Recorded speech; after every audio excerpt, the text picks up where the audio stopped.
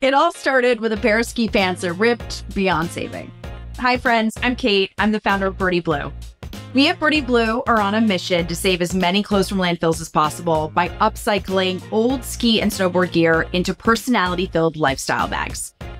Birdie Blue bags are designed to be your everyday lifestyle bag, whether you're skiing, hiking, biking, picking up kids from soccer, or walking the dog. We've saved more than 5,000 pieces of clothing from landfill since our founding in 2022 and are showing no signs of stopping in our mission to save our greatest playground, Mother Earth.